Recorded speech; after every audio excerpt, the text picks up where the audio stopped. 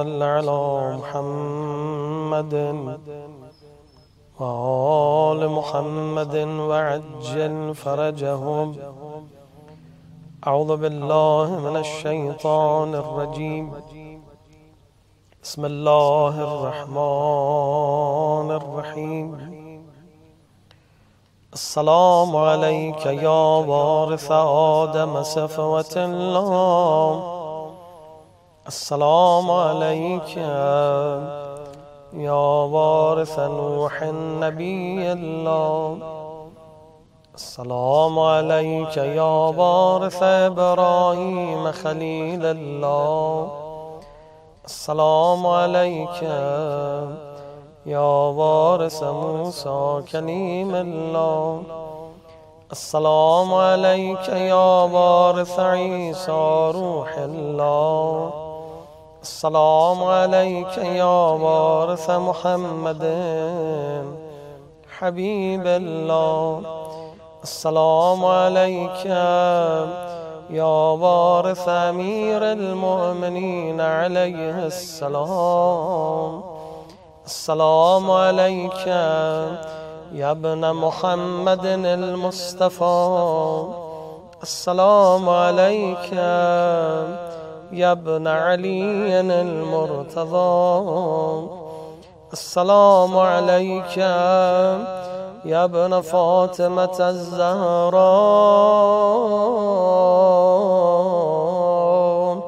السلام عليك يا ابن خديجة الكبرى.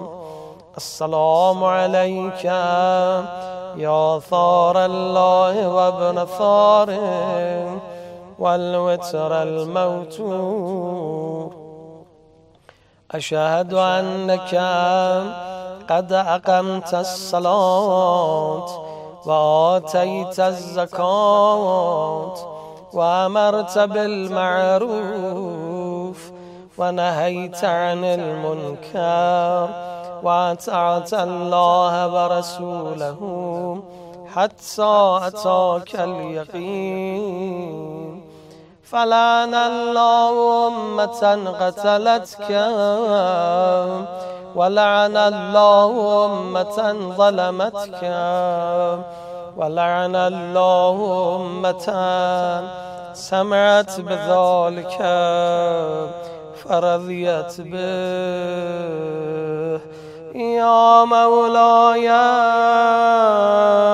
يا أبا عبد الله. يا مولاي.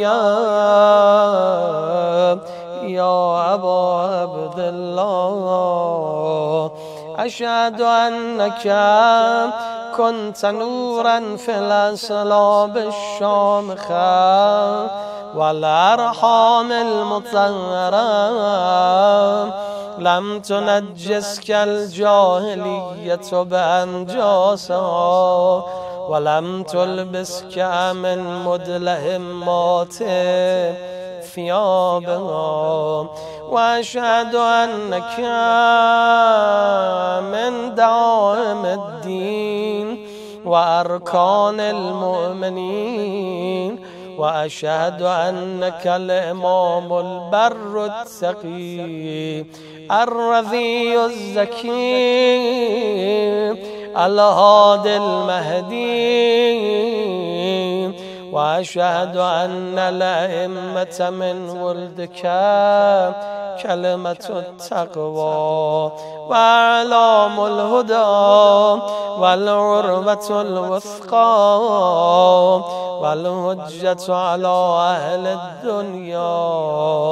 وأشهد الله وملائكته وأنبياءه ورسله أني بكم مؤمن وبيابكم موقن بشرايع ديني وخواتيم عملي وقلبي لقلبكم سر وأمري لأمركم متبع صلوات الله عليكم وعلى أرواحكم وعلى أجسادكم وعلى أجسامكم وعلى شاهدكم وعلى قائمكم وعلى ظاهركم وعلى باطنكم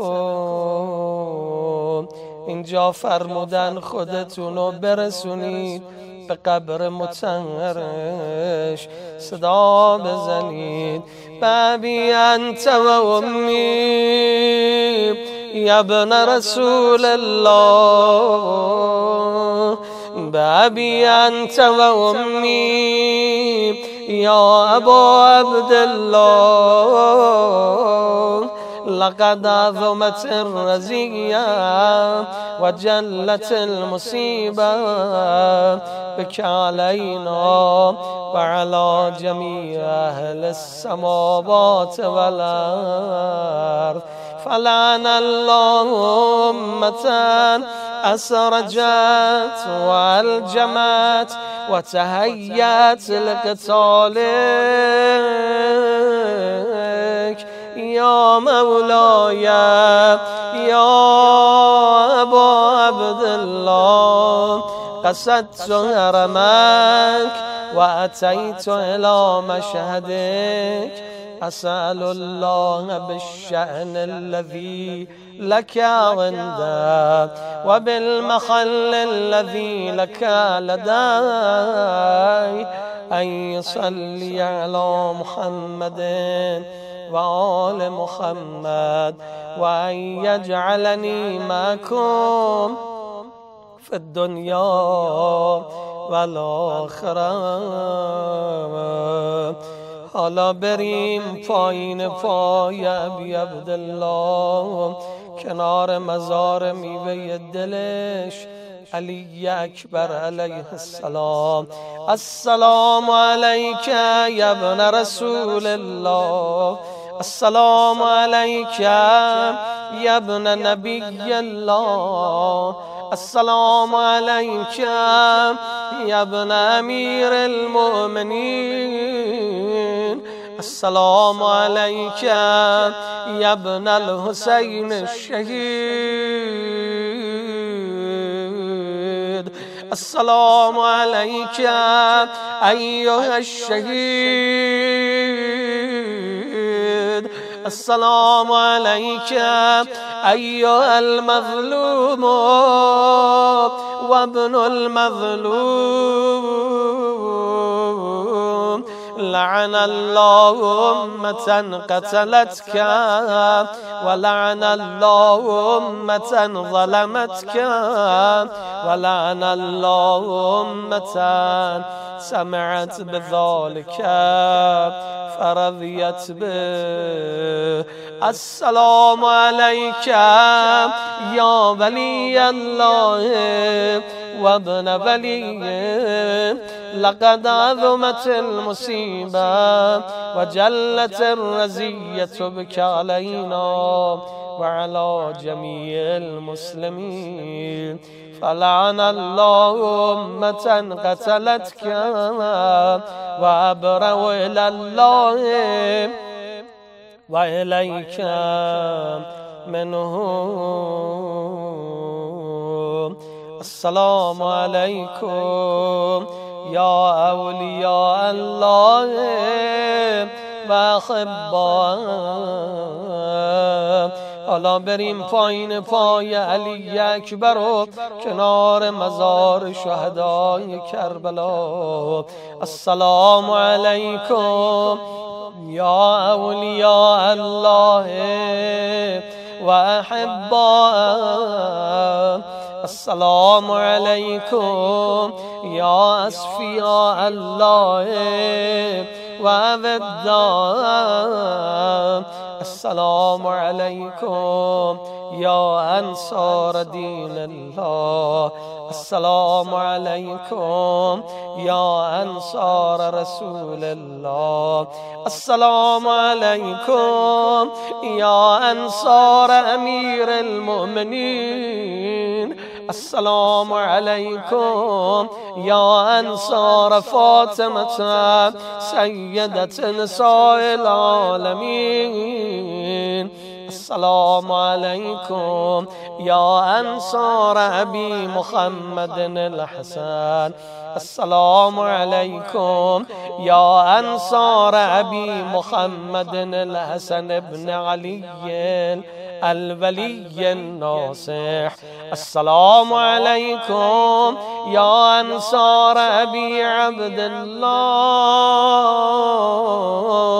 بأبي أنتم وأمي طبتم وطابت الأرض التي فيها دفنتم وفزتم فوزا عظيما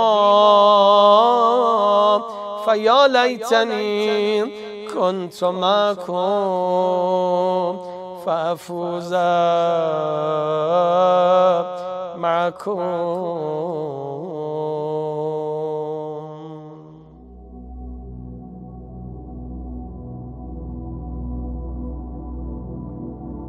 دلتنگ روزه ها و نشون به این نشون میخوامد به جون هرچی مرد قسم تو پای جون میخوامد اگر انقدر خالی دستان اگر تمومی نداره دردان. من از تو جز چیزی نمی‌خوام. پای چما میریز دلم غم تو شدم چیز دلم همه چی. توی عزیز دلم عزیز دلم. عزیز دلم پای بر. چما میریز دلم غم تو. شدم چیز دلم همه چی توی عزیز دلم عزیز دلم عزیز دلم. قد ستاره های توی هفت آسمون میخوامد. قسم به اسم عظم حق تو پای جون میخوامد. برای امروز برای فردا برای اجره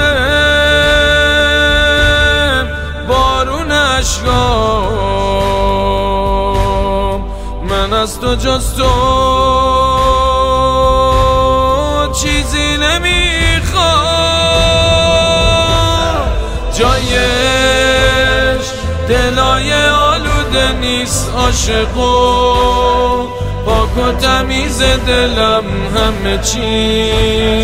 توی عزیز دلم عزیز دلم عزیز دلم. پای چما میریز دلم غم تو. شدم چیز دلم همه چی توی عزیز دلم عزیز دلم.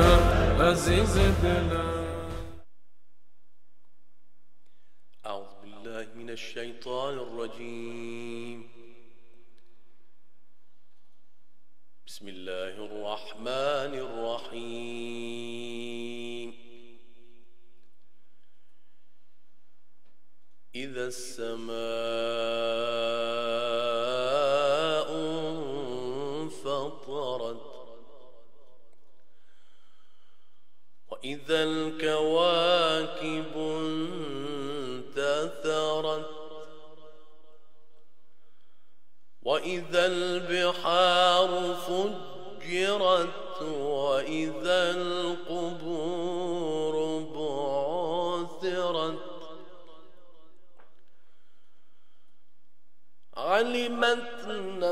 نفس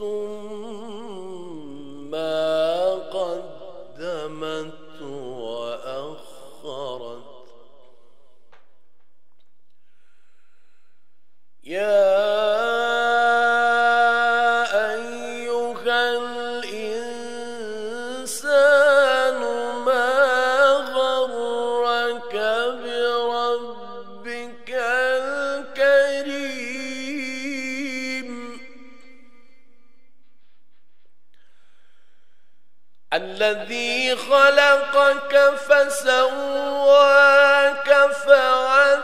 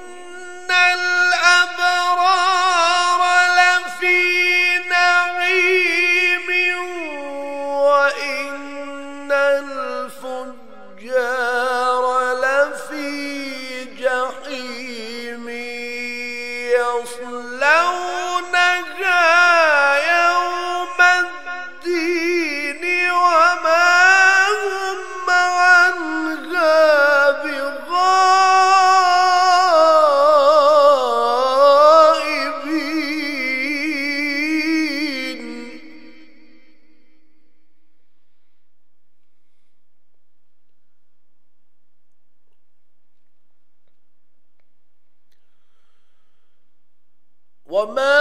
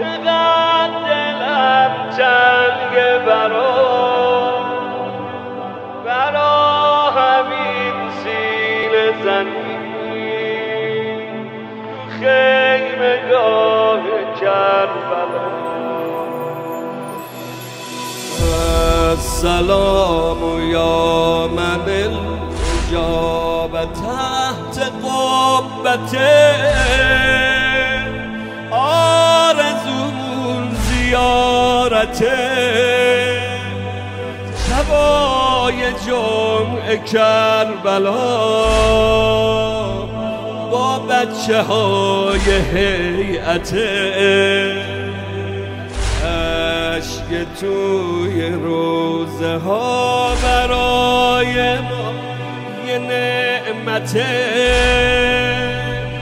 سرمایه محبت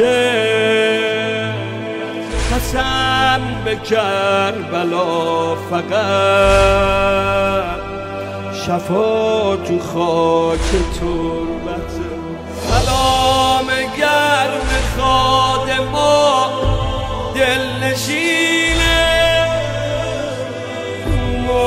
که به امام رضا اربعین حسین اربعین حسین. دنیا تو این طریق کام زائرات آقام امام رضا سفره دار کربلا.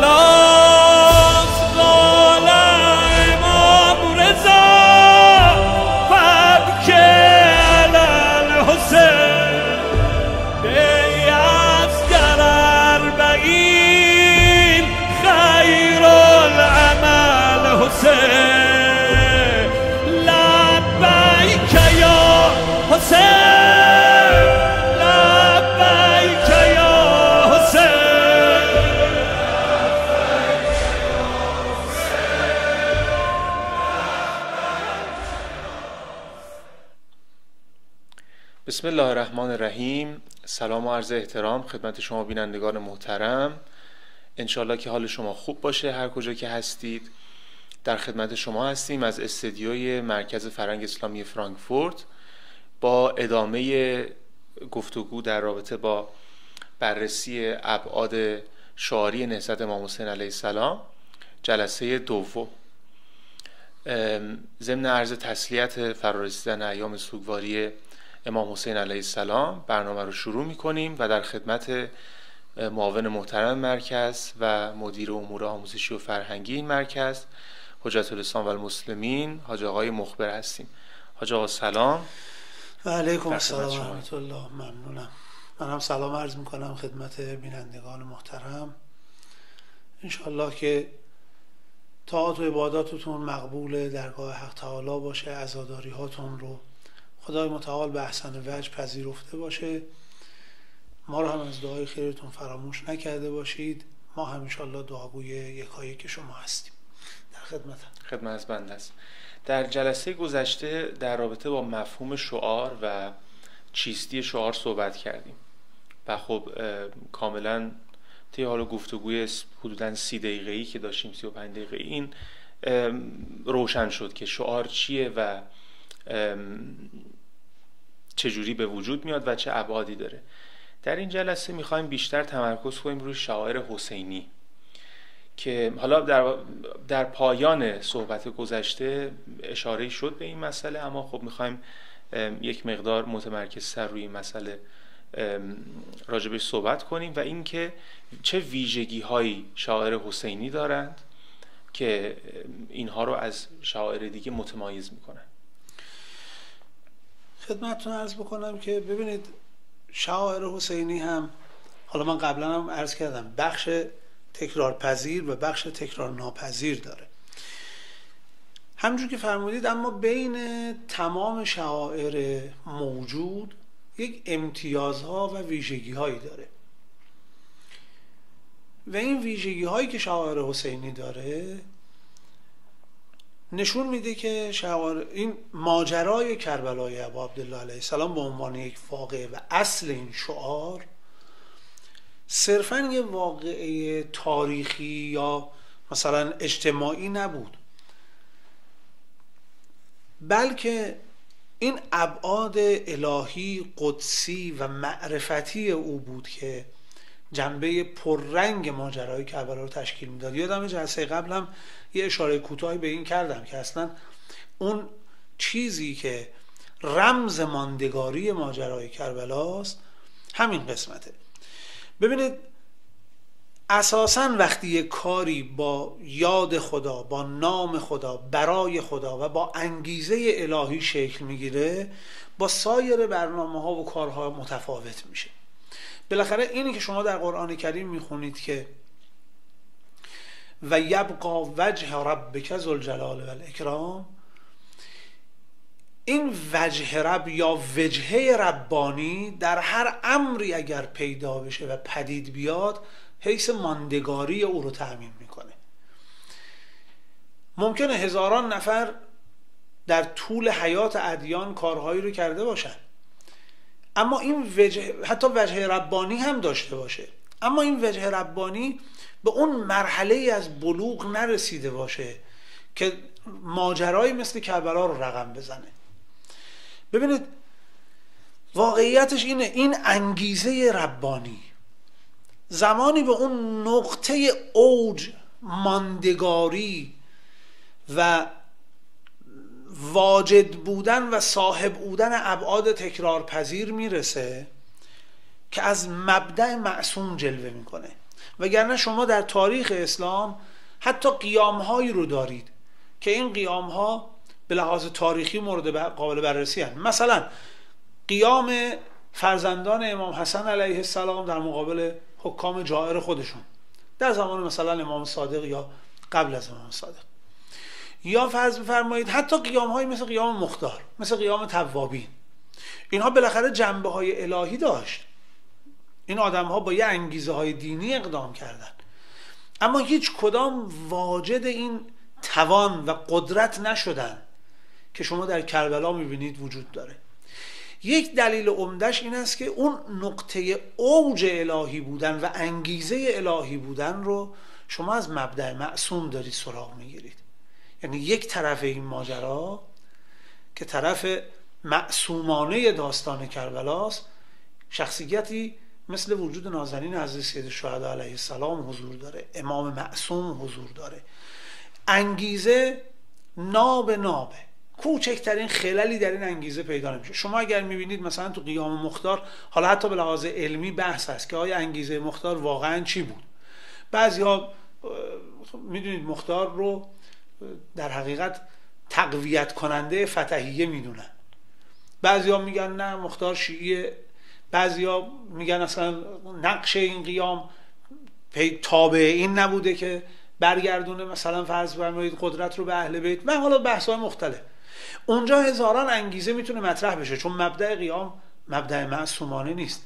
اما درباره قیام سید الشهدا نه شما به عنوان یک شیعی سخن از معصومانه بودن این قیام و مبدع این قیام میگی. افرادی هم که تاریخ پژوه هم وقتی میان تاریخ کربلا رو ملاحظه می‌کنن با این که اونها با این نگاه قداست سراغش نمیرن.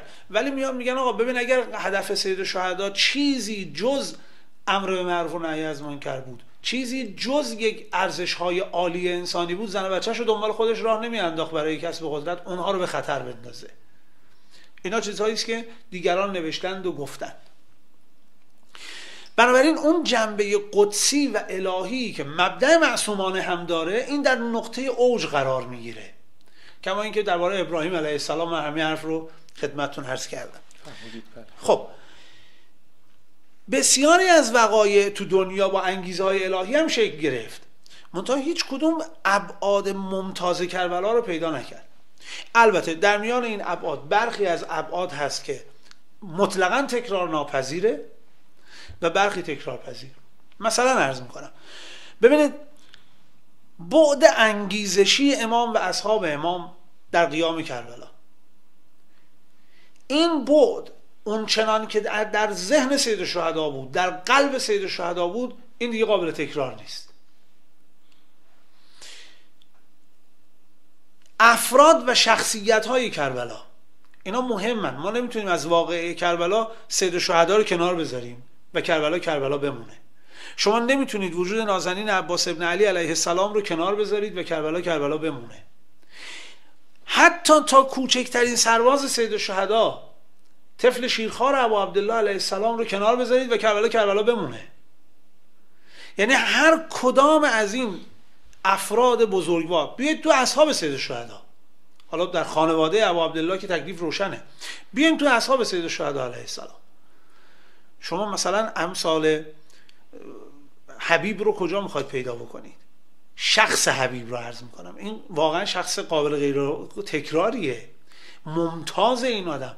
زندگی حبیب رو شما ملاحظه می‌کنید متحیر میشید. خدمتتون از مسلم ابن اوسجه رو کجا می‌خواید تکرار بکنید؟ حر ابن یزید ریاهی رو کجا می‌تونید تکرارش بکنید؟ کجا می‌تونید پیدا بکنید این آدم ها رو؟ آدم هایی هستند که منحصر به فردن و در این واقعه حضور دارن و حضورشون در این ماجرا موثره. این هم یک یعنی می‌خوام عرض بکنم اینا دارن امتیاز میدن جریان سید شهدا رو. خود این آدم ها که هر کدام البته یک آینه در برابر صفات سید شهدا و دارن امام حسین هر کدوم به قدر خودشون منعکس می‌کنن. در سطح ماجرا نوع وقوع ویژگی های واقعه. ببینید نمیگم سطح فاجعه. شما بگید آقا اونجا مثلا تیراندازی کردن افراد با فرض فرمایید با تیر شهید شدن یا با سنگ شهید شدن یا با شمشیر شهید شدن. خب شما نمونه هاشو می‌بینید آدم های مختلف تو سطح دنیا با ابزار دیگه به شهادت رسیدن یا از بین رفتن. موضوع ابزار نیست موضوع شکل ظاهری جنایت نیست موضوع دو طرف داستانه. شما این طرف سید و شهدا رو دارید اون طرف سنان ابن انس. این طرف حسین ابن علی علیه السلام رو دارید اون طرف مثلا خولی. این طرف امام حسین رو دارید اون طرف شمر. این افراد هم هر اون طرف هم آدماش منحصر به فردن. یعنی اونها هم در قصابت انسان های منحصر به فردی هن. و اینکه ویژگی های این دوتا لشکری که روبروی هم ایستاده. یه لشکر سی و چند نفره که در نهایت شهداش خدمتتون از کنم بین 72 تا 100 مثلا در 15 نفر گزارش شده و از این طرف یه لشکری که از 3000 نفر به بالا گزارش شده تا 30000 نفر تا بیشتر. ببینید اصلا این ابعاد هم ابعاد غیر قابل تصوری هن. خب اینها ابعادی هن که تکرار نمیشن. ولی در این حال امتیاز بخشن به ماجرای کربلا اینا رو کاملا منفک می‌کنن از غیر خودشون. اما ابعاد دیگه ای هست در ماجرای کربلا که این رو از مابقی خودش جدا می‌کنه و در این حال تکرار پذیره نمونهش رو عرض بکنم ارزش است که در قیام سید الشهدا وجود داره. دقیقا منظورتون چی از ارزش؟ نمونهش رو عرض بکنم. حالا ببینید به عنوان نمونه می‌خوام عرض بکنم. شما در کلمات سید الشهدا دقت بکنید. ببینید امام حسین مسیری که راه افتاده از مکه تا خود کربلا تا روز آشورا. و حتی تا عصر آشورا که شهید شن فرمایشات فراوانی دارن. اصحابشون حتی حرفهایی دارن. حتی رجزهای شهادت اصحاب رو نگاه بکنید اینا همه مطالبی داره. اینا نشون میده که نوع نگاه سید شهدا نگاهش به هستی نگاهش به توحید نگاهش به زندگی نگاهش به ارزش های اجتماعی و انسانی چگونه است. شما وفاداری سید شهدا رو نسبت به کوفی ها ببینید. کوفی ها نامه دادن بعدم زدن زیرش. حضرت ابو عبدالله الحسین با خبر میشه. اما ایشون پیمان شکنی نمی‌کنه. با اینکه طرف مقابل پیمان پیمان شکسته پیمان شکسته. بله ولی حضرت پیمان شکنی نمی‌کنن. به حضورتون عرض بکنم که یه نمونه قشنگش اینه. تقریبا بعد از ظهر روز تاسوعا یکی از لشکریان عمر سعد میاد نزدیک خیمه های ابو عبدالله شروع می‌کنه فحاشی کردن. و عملا تحریک می‌کنه به جنگ. حبیب نزدیک سید الشهدا ایستاده. خیلی عصبانی میشه از حرفای نادرستی که اون آقا می‌زنه. به امام عرض می‌کنه آقا اجازه بدید این تو تیررس منه. من این رو خواهم زد. حضرت میفرماد ما شروع کننده جنگ نیستیم. ببینید اینه که توی کربلایی که سراسر ما داریم می‌بینیم مخصوصا از روز آشورا حالا شب آشورا رو سید الشهدا علیه السلام فرصت می‌گیرن. ولی مخصوصا روز آشورا یه روز جنگی به تمام ایاره ولی سید الشهدا نیامده که بجنگه البته خواهد جنگید. ولی طالب جنگ نیست شروع کننده جنگ نیست. مدافع ابی عبدالله. باز نمونه های زیادی رو شما در فضای سید الشهدا می‌بینید. دوری از ننگ پذیری و ذلت پذیری جز ارزش های کربلاست که اینها قابل تکراره. خود ارزش های کربلا همینجور. این یکی از امتیازاتی است. باز جاهای دیگه اینجوری نمی‌بینید. با این قوت و قدرت نمی‌بینید. حسین ابن علی که توی کربلا میگه آقا اگر راه خیلی خوب پشیمون شدن مردم کوفه راه رو باز بکنید من برمیگردم عراق. میگید برمیگردم مدینه. میگید نه. میرم سمت همدان میرم سمت دیلم. راه رو باز کنید اون طرفی بیرم در عین حال همین سید الشهدا وقتی میمونه بین اینکه یا باید تن به ذلت بنی امیه بده یا باید شهید بشه. یعنی شهادت رو انتخاب می‌کنه. ذلت رو نمیپذیره. یکی از ارزش های جدی داستان کربلاست. وجود اصوه های معرفتی اخلاقی و عملی در کربلا جزو امتیازات کربلاست که در حقیقت تکرار پذیره نه اینکه اسوه هاش در زندگی ما تکراری تکرار میشن. شما سید الشهدا رو به عنوان اسوه نمی‌تونید تو زندگی خودتون تکرار بکنید. ولی می‌تونید شباهت پیدا بکنید. می‌تونید به این اسوه نزدیک شید. ایدئال های یک مسلمان و یک زیست اسلامی یک بینش اسلامی قطع تعلق از عالم زواهر رو می‌تونیم تکرار بکنیم تو زندگی همون به عنوان اسوه های داستان کربلا. باز شما نگاه بکنید کربلا معیاری است برای سنجش اعمال و رفتارهای ما مسلمان ها البته این بخش بحث عمیقی داره نمی‌خوام الان ورود پیدا بکنم. چون از این طرف میشه با هر شعاری این موضوع رو مورد بررسی قرار داد. اما به هر صورت کربلا برای ما یک ابزار سنجشه. اگر جایی قرار گرفتیم که هیچ راهی هیچ راهی برای ما نمیمونه جز این که باید انتخاب بکنیم. آیا به ارزش های انسانی و الهی و دینی وفادار بمونیم یا رنج حاصل از این مجاهده رو تحمل بکنیم؟ حالا به هر نتیجه می‌خواد برسه برسه. کما اینکه تو کربلا شما می‌بینید یه عده شهید میشن یه عده به اسارت میرن.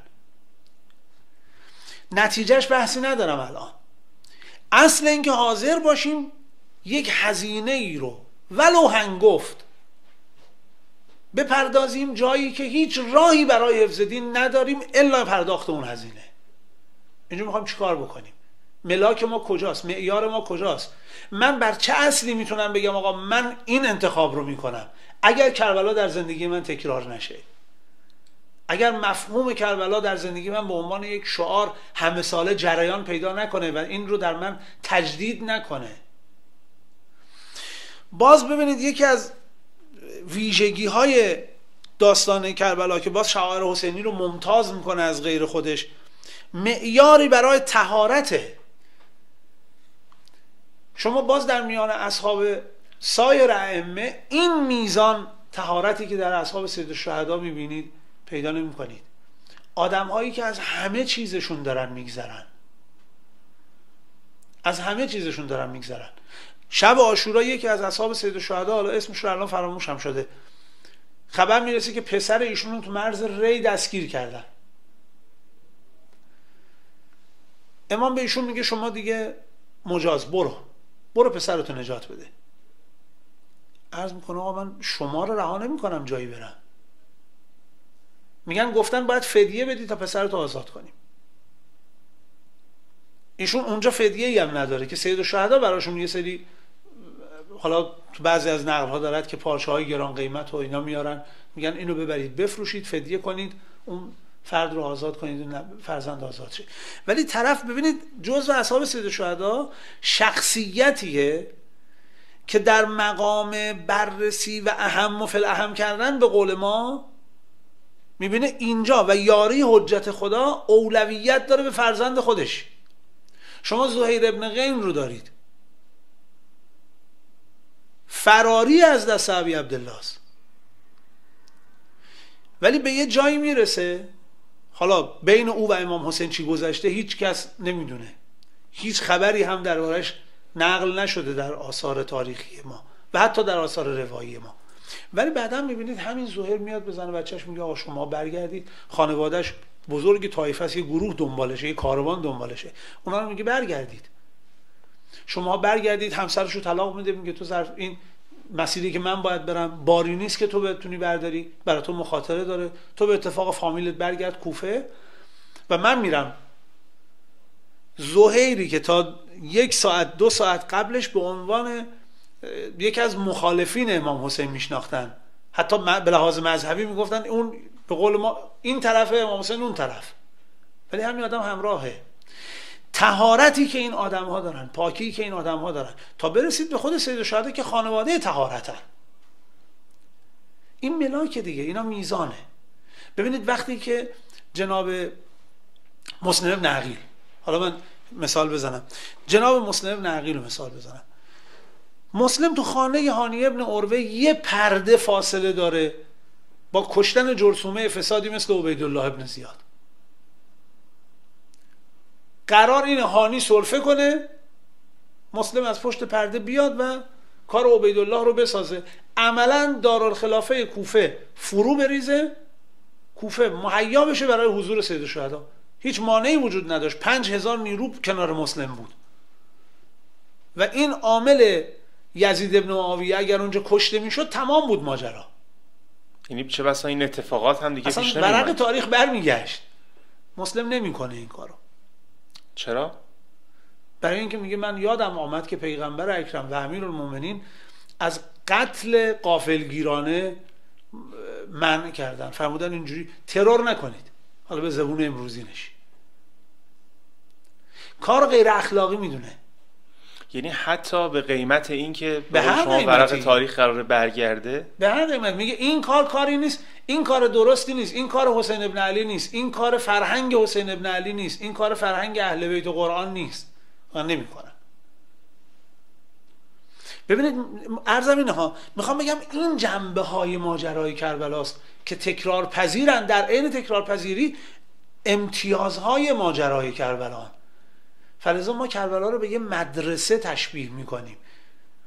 مکتب کربلا مدرسه است واقعا مدرسه است. و باید توش درس زندگی خوند و شاگردی کرد توی این مکتب. بسیار عالی. وقتی که شاعر حسینی و روایاتی که در واقع در این زمینه داریم رو مطالعه می‌کنیم یک سوالی پیش میاد. در کل نحوه عزاداری ها رو می‌بینیم. این فرهنگ رو وقتی مطالعه می‌کنیم یک سوالی پیش میاد و اون این که رابطه این شاعر با عقل و عاطفه چی هستن؟ یعنی این شاعر اومدن که در واقع عقل ما رو رشد بدن یا عاطفه رو رشد بدن؟ کدومی که از این هاست ببینید من یه مقدمه کوتاه بگم چون حیفم میاد که یک راست برم سوال شما رو جواب بدم سوال سوال خوبیه. ببینید انسان عقل یا عاطفه است؟ نمیشه گفت. هر انسان همه. ایناست. ببینید انسان یه موجود چند لایه است.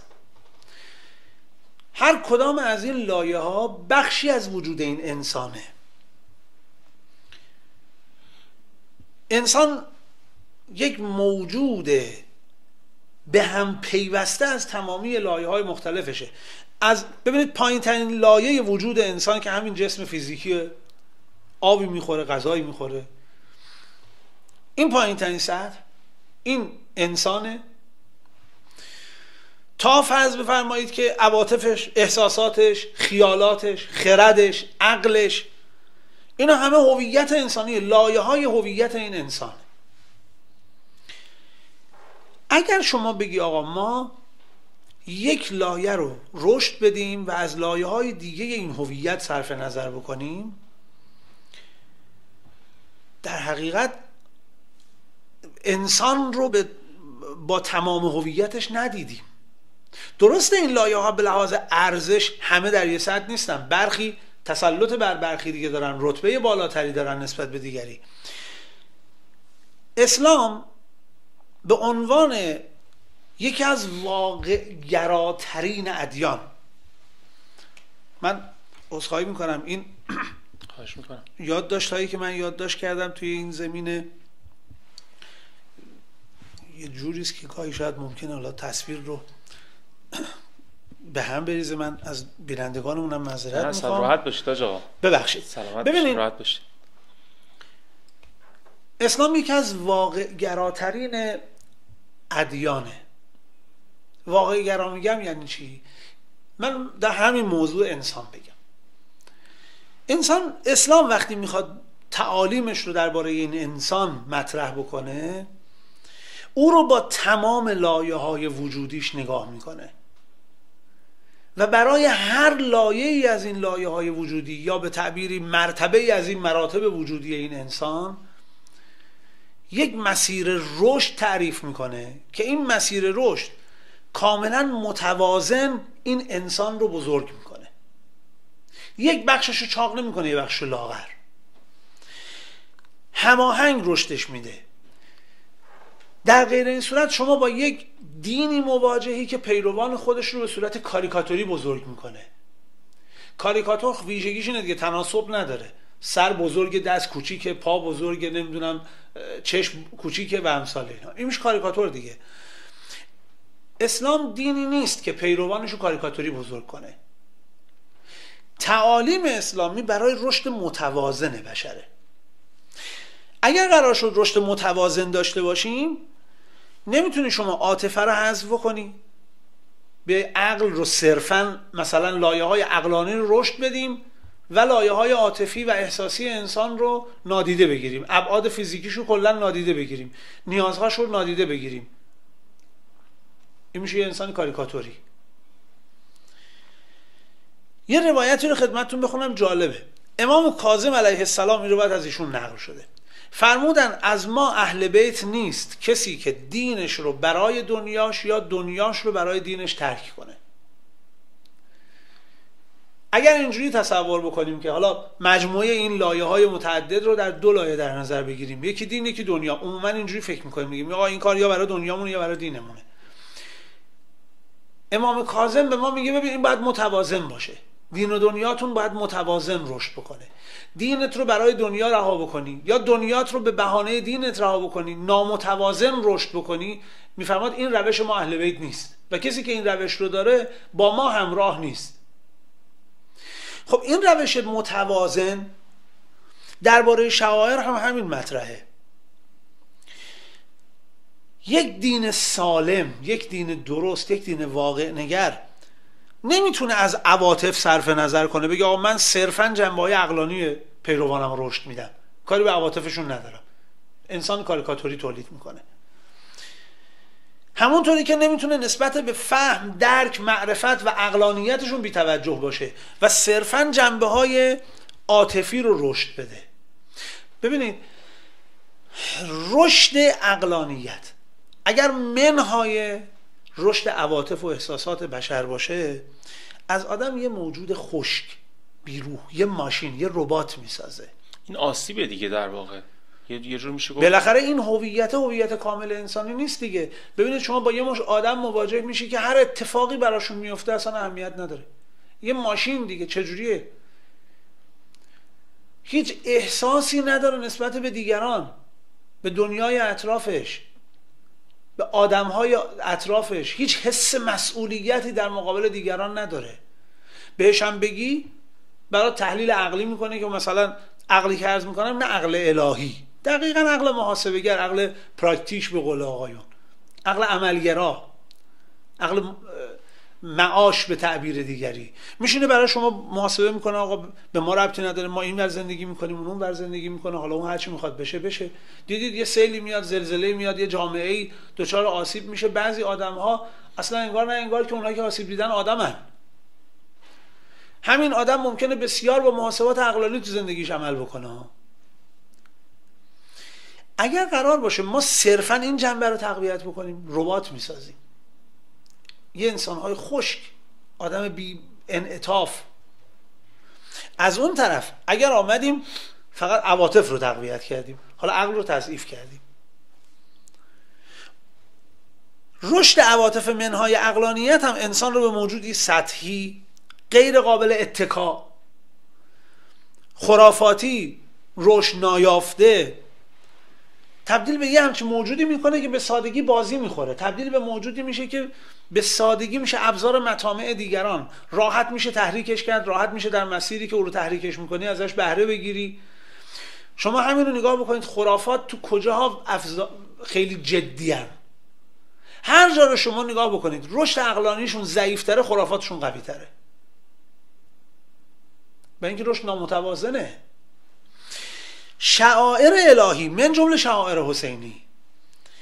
از یک طرف میان نظام ارزشی اخلاقی معرفتی و اقلانی رو بازتاب میدن. این رو معرفی می‌کنن. این رو تکرار پذیر می‌کنن. این رو می‌خوان بیارن تو زندگی های ما و احیا بکنن. و از یه طرف با عواطف در هم میامیزن عاطفه رو پیوند میدن با اون واقعیتی که پدید آمده. عقلانیت به انسان عمق میده به زندگی معنا میده و عواطف شور و امید و انگیزه میده. این دوتا شما نمی‌تونید از هم تفکیک بکنید. شعائر الهی من جمله شعائر حسینی تنها محتوای عاطفی ندارن که بگیم آقا فقط آمدن عواطف ما رو رشد بدن ما رو درگیر یه رابطه عاطفی با امام حسین بکنن و در همین رو هی تقویت بکنن. از اون طرف جنبه های اقلانی ما رو تضعیف بکنن. یا بخوان جای اونها بنشینن. اصلا همچین چیزی نیست. قرار نیست عواطف در شعائر حسینی به جای معرفت و درک بنشینه و درک و معرفت رشدش به این معنا نیست که بروزها و ظهورهای عاطفی رو جلوشو بگیره. اشک ریختن بر ابو عبدالله رو جلوشو بگیره. اتفاقا اینها مکمل هم دیگه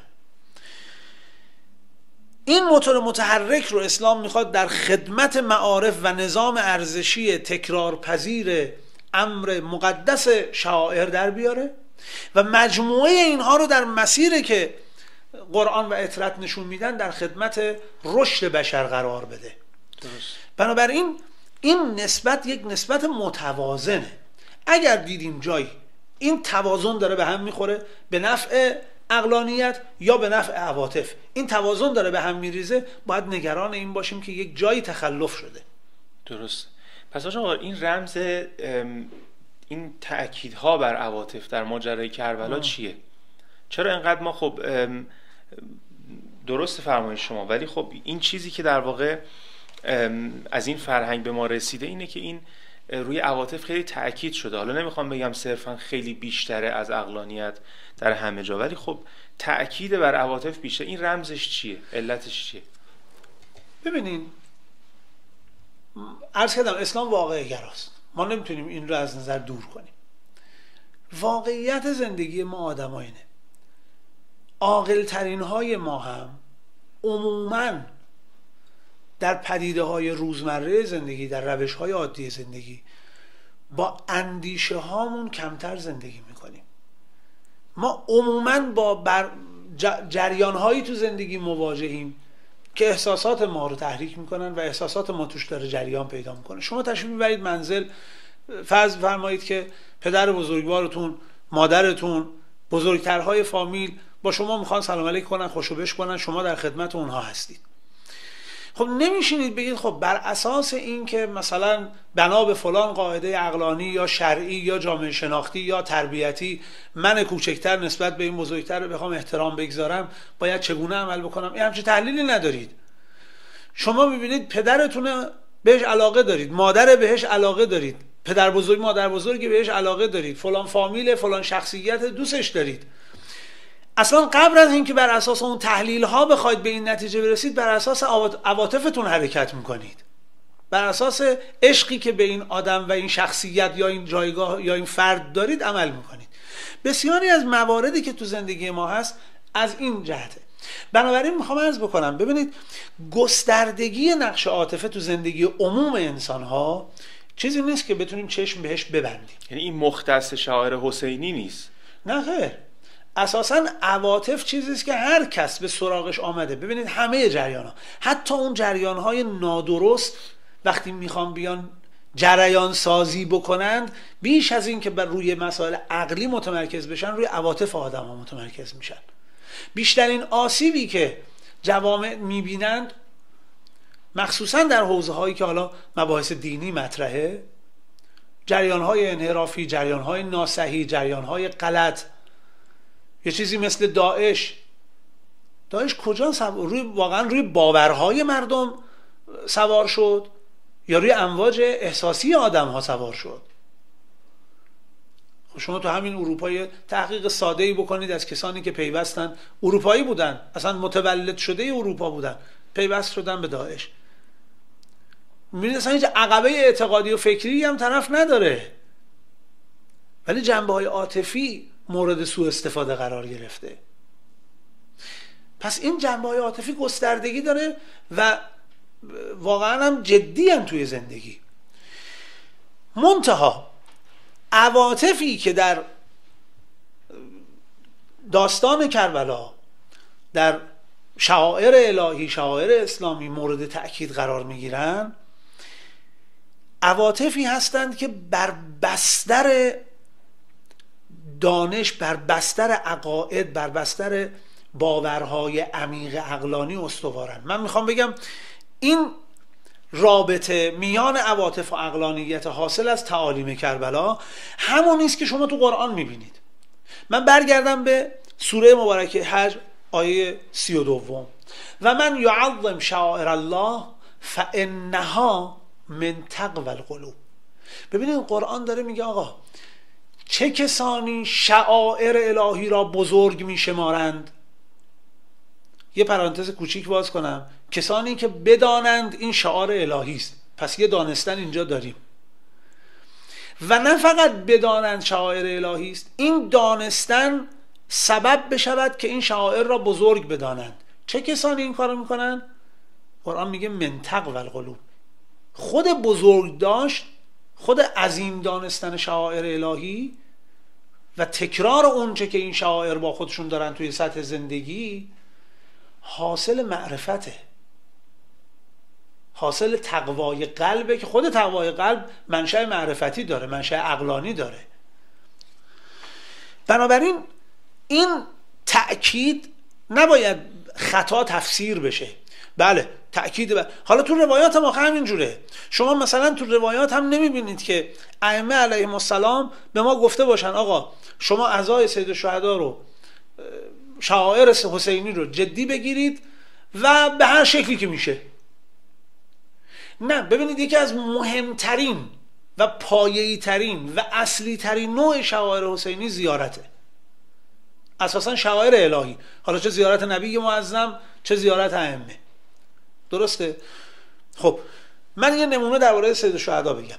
از امام صادق علیه السلام روایت نقل شده که حضرت فرمود من زار قبر حسین ابن علی عارفا به حقهی کتب الله تعالی فی الیین اگر کسی با معرفت به حق حسین ابن علی حسین ابن علی را زیارت کند اثرش این است که خدا نام او رو در الیین مینگاره در بندگان رشد یافته و مقرب خودش.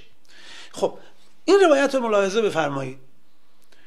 این داره بیان می‌کنه که آقا آثاری بر این شعار الهی مترتبه اما این اثر مشروط به معرفت حق امامه.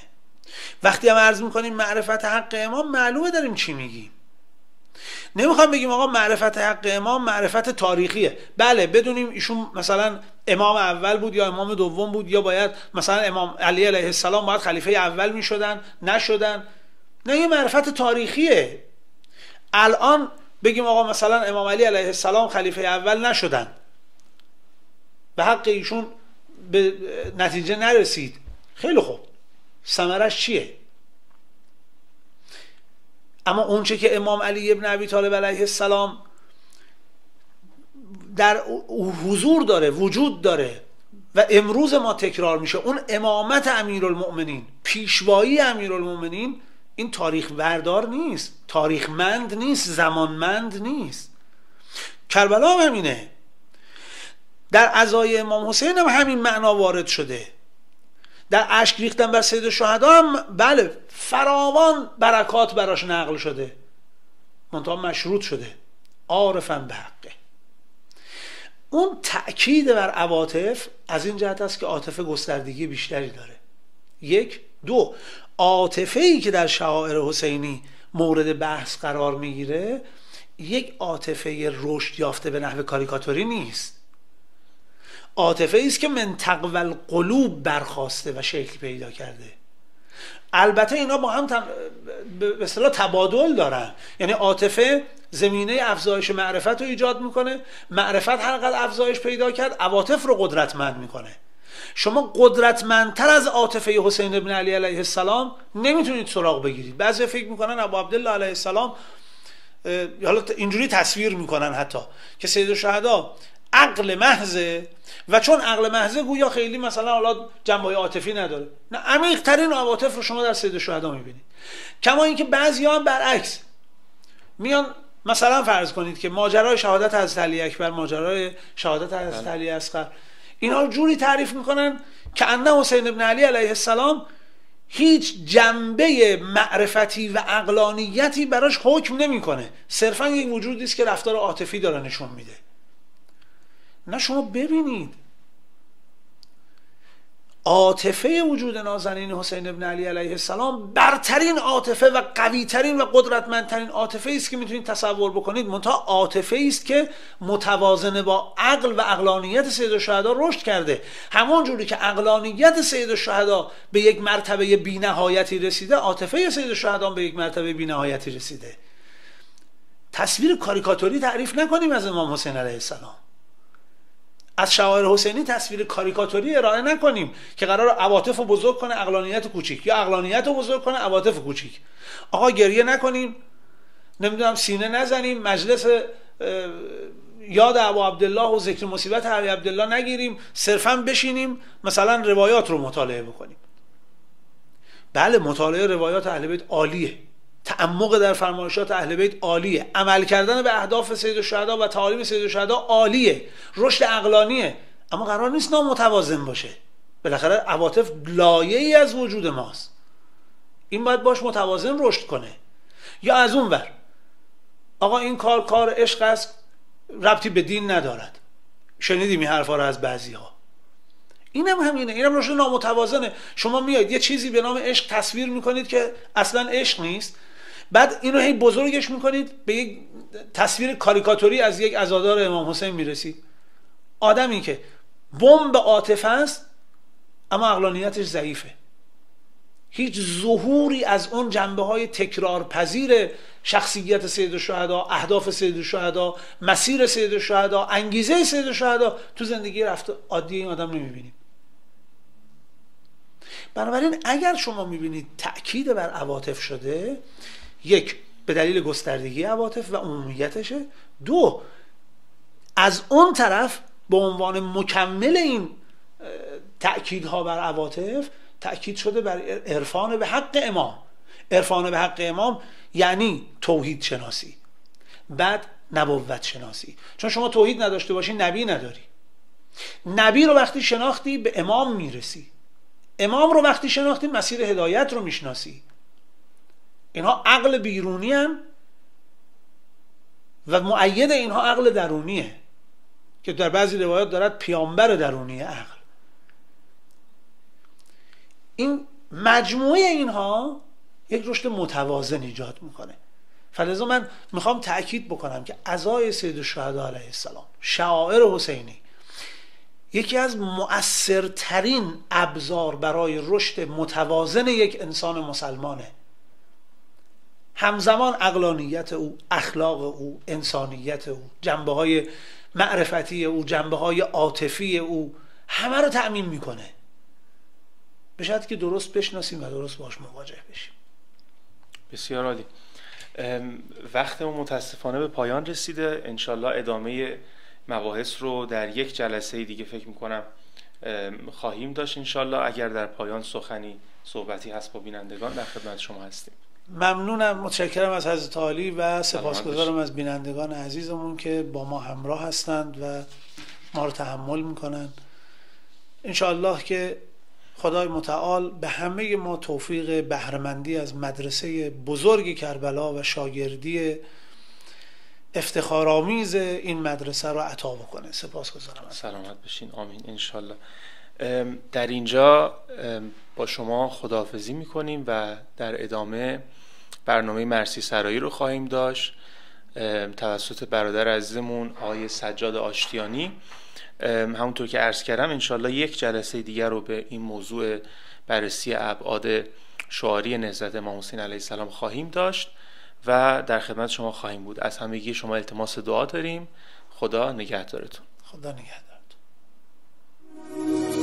که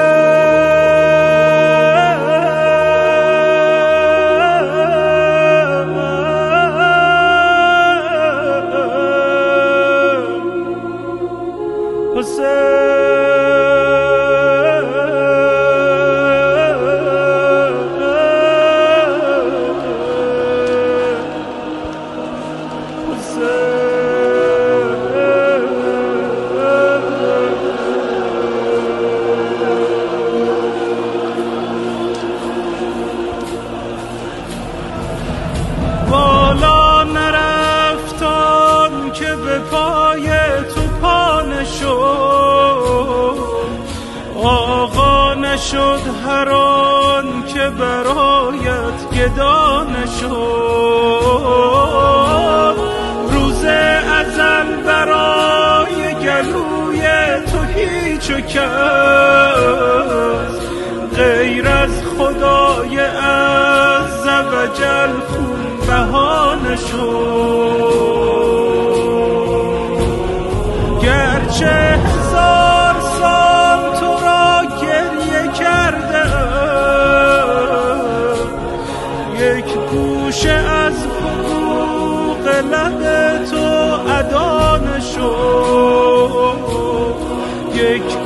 گوشه از حقوق لب تو ادا نشد.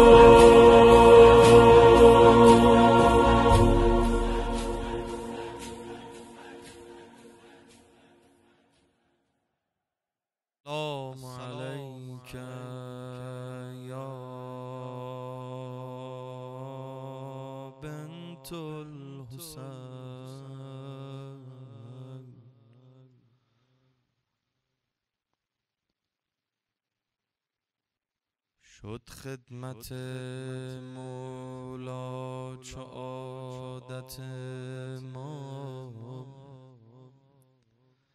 عشق حسین سر سعادت ما. بنگر به اخلاص و ارادت ما. وصف جمال او عبادت ما ما می‌خریم از جان و دل. بلا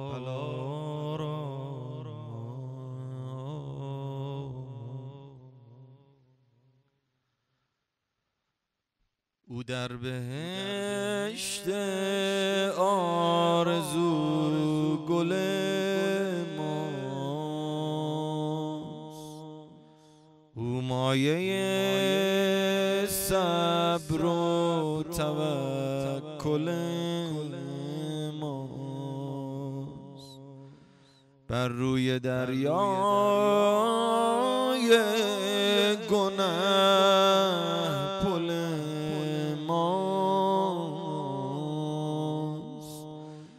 دامنش دست توسل ماست.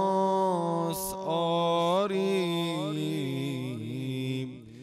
به شه حاجت بود. گدارا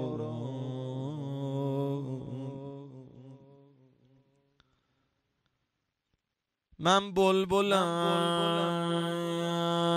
اما نفس ندارم. میل پریدن از قفس ندارم. چشم کرم از هیچ کس ندارم. جز کربلا دیگر هوس ندارم. یا رب اجابت کن تو این دعا. انشالله به زودی زود قسمت هممون بشه کربلای مولا اینجا بهشت و روزت و نعیم است. اینجا همان سرات مستقیم است. جبرین بر این آستان مقیم است. گریه کنای شب سوم محرم. اینجا مزار دختری یتیم است. اینجا تجلی ها بود خدا. من کیستم؟ دیوانه رقیه. اوشم و من پروانه رقیه. کنج دلم شد خانه رقیه. لبریز شد پیمانه رقیه. صبری که گویم. شرح ماجرا. را صدا زد. گفت ام جان امشب در استرابم چون شعله آتش به پیچ و تابم. چشم انتظار وصف وصل روی بابم. چشم انتظار وصل روی بابم. آمد پدر در خواب خوش به خوابم. دیدم جمال شمس و زهارا ام جان. خیلی بهونه بابا رو گرفته بود. اومدن به اون ملون گفتن این بچه خیلی بهونه باباشو گرفته. گفت حالا که بهونه باباشو گرفته. باباشو براش ببریم. میگن تا سر و وارد خرابه کردن سیهی کشید و از اوش بمیرم برات. مخدرات اومدن دورشو گرفتن. این بچه به اوش اومد. سر مقدس بابا رو به دامن گرفت. السلام علیک یا عطشان. چه بلایی سر لبت آمد.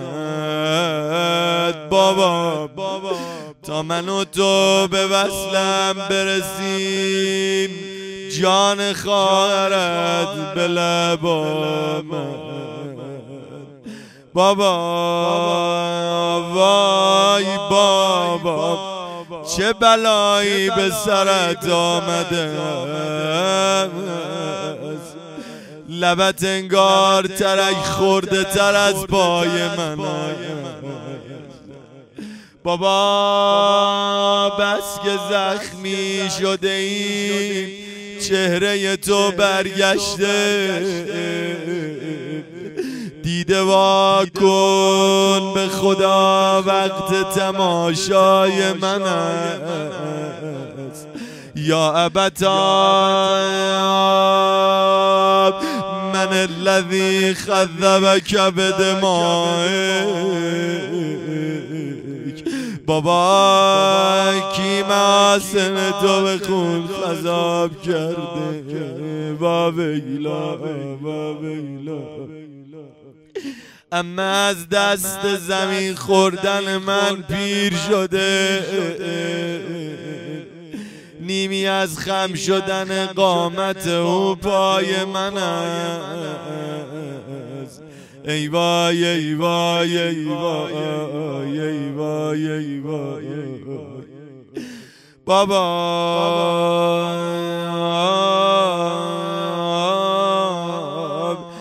بیشانه نیز می شود امروز سر کنن زلفی که سوخته گرش واله می شود یا صاحب زمان منو ببر بیهوده زیر منت مرم نمی روم این پا برای دختر تو پا نمی شود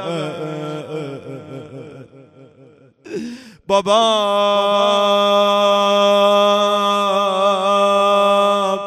صد زخ بر رخ تو دهان باز کرده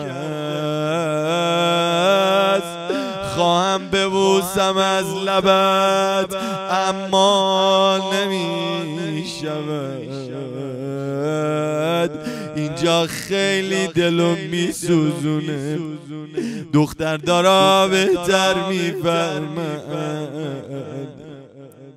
صدا زد چوب از یزید خورده و قهر با منی.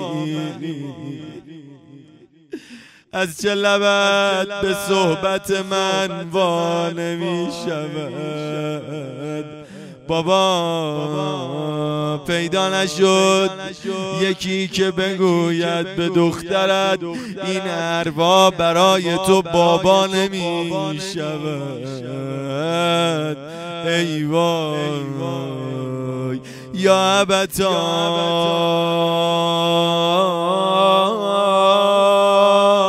من الذی قطع وریدک بابا کی رگای گردن تو بریده بابا بابا بابا گریه کنم. یه ناله دیگه هم زد. دیگه یه وقت دیدن سر یه طرف رقیه یه طرف. صدا زد یا بتاب. من الذی ایتمنی علی صغر سنی.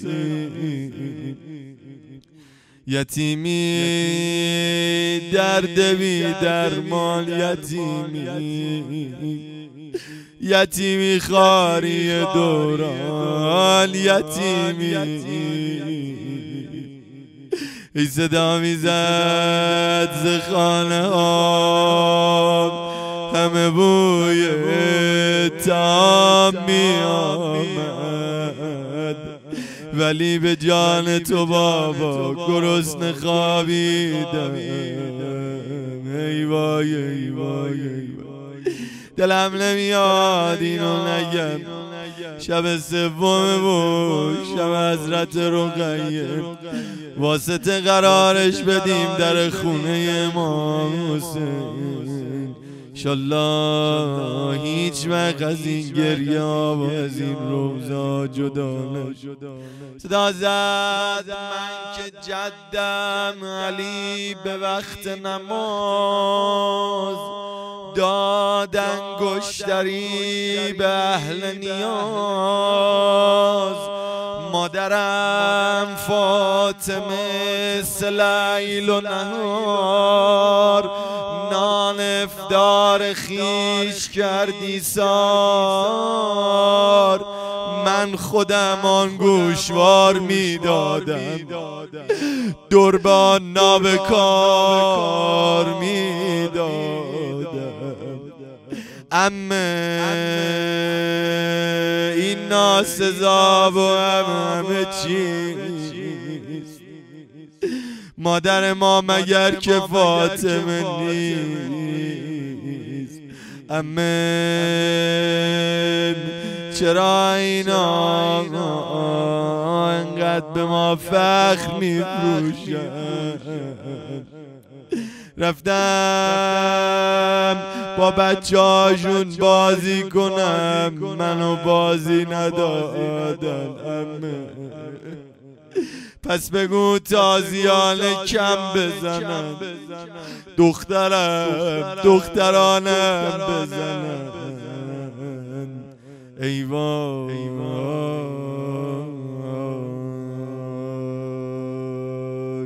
بابا. چند شب بیبوس خوابیدم دانم تلخ شد. نیستی دختر مرنج از من نمیدانی مرا. شالله حق خانم رو غیب ابا عبدالله به هممون نگاه کرده باشیم. بعد هممون حرمش. سه مرتبه صدا بزنیم صلی الله علیک یا ابا عبدالله. صلی الله علیک یا ابا عبدالله. صلی الله علیک یا ابا عبدالله.